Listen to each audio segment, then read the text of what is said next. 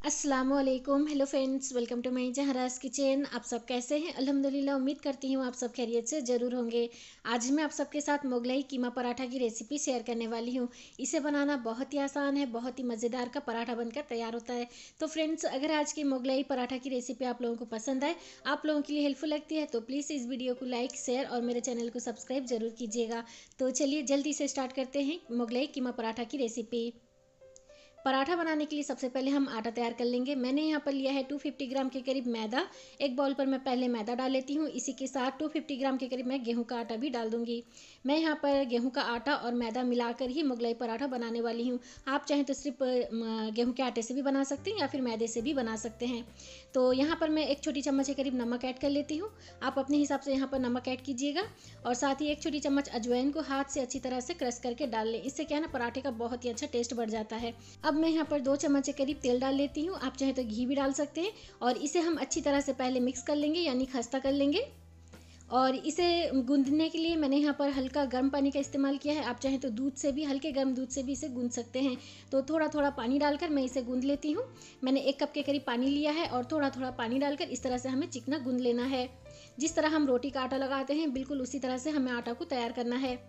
एक साथ ज़्यादा पानी ना डालें थोड़ा थोड़ा पानी डालकर इस तरह से चिकना गूंद लें। आटा गूंदने के लिए मैंने यहाँ पर एक कप के करीब पानी लिया था, लेकिन आप देख सकते हैं थोड़ा सा पानी बच गया है। तो यहाँ पर मैं थोड़ा सा तेल डाल लेती हूँ और आटे को अच्छी तरह से मसल कर चिकना गूंदूँगी उसके बाद मैं इस बाउल को एक प्लेट से ढककर तकरीबन हमें पंद्रह मिनट लिए इसे साइड पर रख लेना है। आप चाहें तो एक रुमाल को हल्का सा गीला करके भी इस आटे के ऊपर रख सकते हैं। तो देखिए, अब मैं इस बाउल को एक प्लेट से ढक देती हूँ और पंद्रह मिनट के लिए हम इसे साइड पर रख लेंगे। इसी दौरान हमें यहाँ पर पराठे का स्टफिंग तैयार कर लेना है। यहाँ पर मैंने लिया है हाफ़ के जी करीब कीमा मटन कीमा मैंने ले लिया है। तो चलिए अब हम चलते हैं गैस स्टोव की तरफ़। स्टोव के हाई टू मीडियम फ्लेम पर मैंने कढ़ाई रख ली है। अब मैं यहाँ पर हंड्रेड एम के करीब रिफाइंड ऑयल डाल देती हूँ।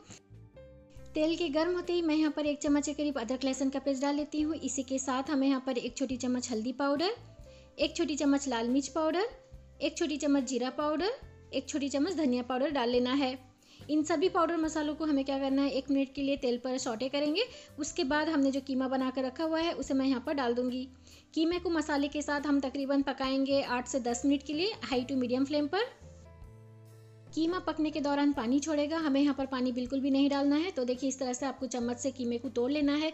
अब देखिए, कीमे का कलर पूरी तरह से चेंज हो चुका है और कितना पानी भी छोड़ने लगा है। पानी के सूखने तक हमें कीमे को पकाना है और इसी तरह से हमें चम्मच से सभी कीमे को तोड़ देना है। अगर गांठे बन जाएँगे तो स्टफिंग करने में परेशानी होगी तो इस तरह से आपको कीमे को तोड़ लेना है। अब मैं यहाँ पर नमक डाल लेती हूँ। एक छोटी चम्मच के करीब नमक आप अपने हिसाब से कम या ज़्यादा कर सकते हैं। तो इसे मैं अच्छी तरह से मिक्स कर लूँगी कीमे में। जैसे ही पानी सूख जाएगा, मैं यहाँ पर दो मीडियम साइज़ के प्याज को बारीक काट कर डालूँगी और साथ ही छः से सात हरी मिर्च को हमें बारीक काट कर डाल लेना है। तो देखिए फ्रेंड्स, मैंने यहाँ पर प्याज और हरी मिर्च को डाल लिया है। आप देख सकते हैं और इसे हमें अच्छी तरह से मिक्स कर लेना है और फ्लेम जो है स्टोव का हमें लो कर लेना है। लो फ्लेम पर हम इसे अच्छे तब तक पकाएँगे। जब तक कीमे का जो पानी है, मॉइस्चर वो बिल्कुल सूख ना जाए, तब तक हमें स्टोव के लो फ्लेम पर इस तरह से चम्मच चलाते हुए पकाना है। इसी दौरान मैं यहाँ पर डाल लेती हूँ हरे धनिया को बारीक काट कर, हाफ़ कप के करीब है। और साथ ही मैं यहाँ पर अपने हाथ का एक मुट्ठी हरे, पुदीने के पत्ते को बारीक काट कर भी डाल लेती हूँ।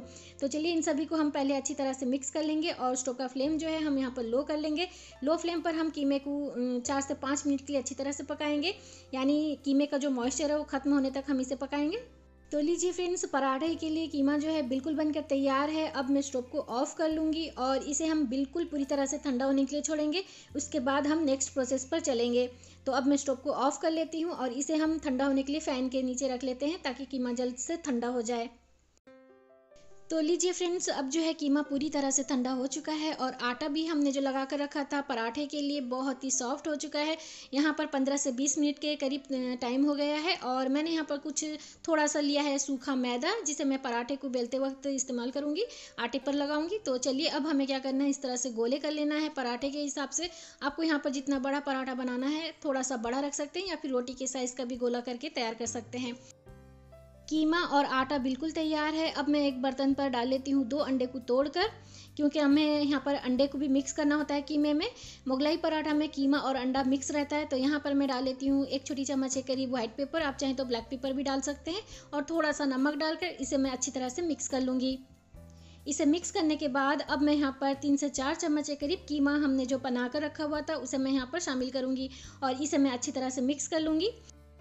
मुगलाई पराठा में स्टफिंग के लिए हमें इस तरह से अंडे का बैटर तैयार करना होता है। पहले हम अंडे का बैटर तैयार करेंगे, उसके बाद यहाँ पर हमें पका हुआ कीमा डालना है। तो फ्रेंड्स हमारा मुगलई पराठे का स्टफिंग बिल्कुल तैयार है। अब मैं यहाँ पर एक गोला ले लेती हूँ आटे का और सूखा मैदा लगाकर इस तरह से हमें रोटी की शकल में से बेल लेना है। आप इसे जितना पतला बेलेंगे, उतना ही मज़ेदार का बनेगा आपका मुगलई पराठा। अगर मोटा बेलेंगे तो खाने में अच्छा नहीं लगेगा तो इस तरह से आपको पतला बेल लेना है। और मैंने यहाँ पर एक घोल तैयार किया है थोड़ा सा मैदा और पानी डालकर आप देख सकते हैं। तो अब मैं यहाँ पर दो चम्मच के करीब डाल लेती हूँ, हमने जो बैटर तैयार करके रखा है, यानी स्टफिंग जो तैयार करके रखा है पराठे के लिए। और मैं थोड़ा सा बचा कर रखूँगी, क्योंकि और एक पराठा हमें बनाना है तो इस तरह से आपको तैयार करना है। अब मैं यहाँ पर हमने जो घोल बना कर रखा हुआ था, उसे मैं साइड में लगा लेती हूँ रोटी के। अब हमें फोल्ड करना है तो देखिए इस तरह से आपको फोल्ड करना है। बिल्कुल जिस तरह से मैंने फोल्ड किया है, बिल्कुल उसी तरह से फोल्ड करना है। फिर से हमें आटे का घोल लगाना है और इस तरह से हमें बंद कर लेना है दोनों साइड को हमें। और एक जो है ना, इस प्रोसेस को आपको जल्दी करना होता है, क्योंकि हमने अंडे का बैटर डाला है, वो बाहर निकलना स्टार्ट हो जाएगा तो फ़ौरन ही हमको इसे कवर कर लेना है। तो इस तरह से पहला मैंने तैयार कर लिया है, और एक आपको दिखा देती हूँ बनाकर। तो बहुत ही मज़ेदार का हमारा मुगलाई कीमा पराठा बनकर तैयार होता है। आप इसे ज़रूर बनाकर देखिए। बनाना बहुत ही आसान है। तो दो पराठे मैंने बनाकर तैयार कर लिया है। अब हमें चलना है इसे सैलो फ्राई करना है। आप चाहें तो इसे डीप फ्राई भी कर सकते हैं, या फिर आप इसे सैलो फ्राई भी कर सकते हैं। मैंने हाई टू मीडियम फ्लेम पर एक पैन पर थोड़ा सा तेल डालकर रखा हुआ है। तेल के गर्म होते ही हमें यहाँ पर इस तरह से पराठे को रख लेना है। मीडियम टू लो फ्लेम पर हम इसे पलटते हुए सेकेंगे। एक मिनट के लिए मैं इसी तरह से छोड़ दूँगी, उसके बाद मैं इसे पलट लेती हूँ। और साथ ही मैं और एक पराठा भी इसके अंदर रख लेती हूँ। तो इसी तरह से हमें पराठे को छः से सात मिनट के लिए मीडियम टू लो फ्लेम पर उलट पुलट करते हुए हमें सेक लेना है, यानी सैलो फ्राई कर लेना है। आप इसे चाहें तो डीप फ्राई भी कर सकते हैं, लेकिन मैंने इसे सेलो फ्राई किया है। और मैंने यहाँ पर तेल से इसे फ्राई किया है। आप चाहें तो घी से भी इसे फ्राई कर सकते हैं। वो भी खाने में बहुत ही अच्छा लगेगा, लेकिन मैंने यहाँ पर तेल का इस्तेमाल किया है। तो देखिए फ्रेंड्स, अब जो है हमारा मुगलई पराठा बिल्कुल बनकर तैयार है। आप देख सकते हैं, बहुत ही मज़ेदार का बना है। ऊपर से क्रिस्पी रहता है और अंदर जो है कीमा और अंडा जो है बहुत ही सॉफ्ट रहता है, मॉइस्ट रहता है, खाने में बहुत ही अच्छा लगता है। तो इस तरह से ज़रूर बनाकर देखिए, आप लोगों को बहुत ही पसंद आएगा। अब मैं इसे निकाल लेती हूँ पेन से। एक बार इस मुगलाई पराठा की रेसिपी को अपने घर पर ज़रूर ट्राई करके देखें। आप लोगों को बहुत ही पसंद आएगा। आप इसे बार बार बनाना चाहोगे। आप इसे गर्मा गर्म टोमेटो केचप के साथ भी सर्व कर सकते हैं या फिर चटनी के साथ भी सर्व कर सकते हैं। खाने में बहुत ही माशाल्लाह से मज़ेदार का है। तो फ्रेंड्स, अगर आज की मोगलाई कीमा पराठा की रेसिपी आप लोगों को पसंद आई है, आप लोगों के लिए हेल्पफुल लगती है तो प्लीज़ इस वीडियो को लाइक, शेयर और मेरे चैनल को सब्सक्राइब ज़रूर कीजिएगा। और साथ में बेल आइकन को क्लिक करना मत भूलिए, उससे मेरी वीडियो की नोटिफिकेशन आपके फ़ोन पर सबसे पहले पहुँचेगी। आप उसे सबसे पहले देख पाएँगे।